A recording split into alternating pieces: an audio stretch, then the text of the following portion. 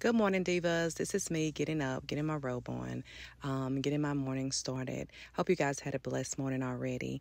I love this set. I got it from Rainbow for a gift. Um, now I'm washing my face. I've already brushed my teeth, and uh, nothing like that hot, warm bath rag touching your face. Oh my God. Um, it just wakes you up. And now I'm taking my Olly Women multivitamins. Um, I am liking them so far. This is my first try on them. And now for these sheets, y'all. Get into these sheets. I don't know. It's something about that count. You have to get the right count. It makes you sleep so good. I got the sheets and this nice comforter set from Kohl's. I love it. It is so nice. I get up and get my room cleaned up.